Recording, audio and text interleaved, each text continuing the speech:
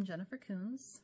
I uh, my business name is JK Mosaic, and I've been working in stained glass mosaic for um, 23 or so years now. And I also teach glass cutting and other kinds of mosaic skills. Since I started teaching, a few things have changed. So most people who have taken my classes have heard me talk about this being my favorite glass cutter.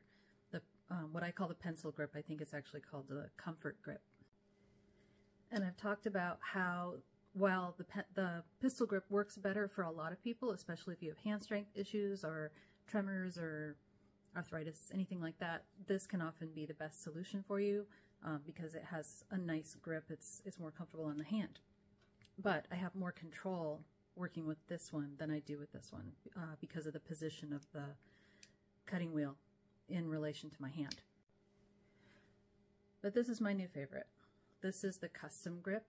And the reason that this has become my new favorite is because it has this paddle where it rests, your hand rests here. This takes a lot of the pressure off of my fingers to have to do most of the gripping and to have to use so much strength to control my scoring.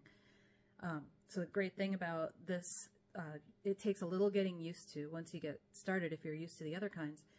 Um, if you unscrew the top where you put the oil in, and that's one thing to know is that there should be oil or you should be dipping with oil. You should be scoring with oil. Um, this flips around, so it's a different position this way. This spacer comes out. This changes position. So you want to flip it around, try it a few different ways until you find the place that's most comfortable for your hand. And that's just going to depend partly on your own body mechanics and on the shape of your hand. So for me, it's with this spacer and the, with this at the lowest position.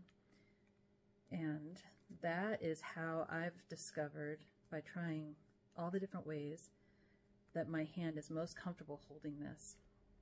So by um, using this scoring tool, it's taken a lot of the pressure off of my hand from um, trying to use uh, this scoring tool, which I still resort to when I'm doing a very difficult piece and I it's really important to me to be accurate. Um, but the way my fingers have to do a lot of this to hold the tool in place and then um, it causes a bend in my wrist the way I'm holding it. Um, when I'm using this tool, my wrist stays more straight. So ergonomically, all the way around, this has become my favorite tool.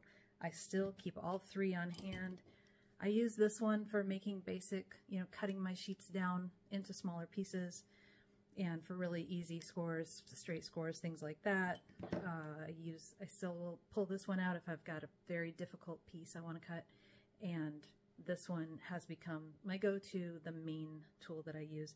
I like having all three on hand because it's nice to be able to switch out if your hand's getting some hand fatigue. Just switching it up can make a big difference. And, um, and of course, I use all the Toyo tools. Um, so it's pistol grip, comfort grip, and this one is the custom grip.